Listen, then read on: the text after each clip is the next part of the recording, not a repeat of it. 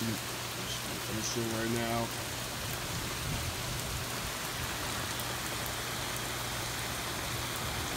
And door flash was and door flash was.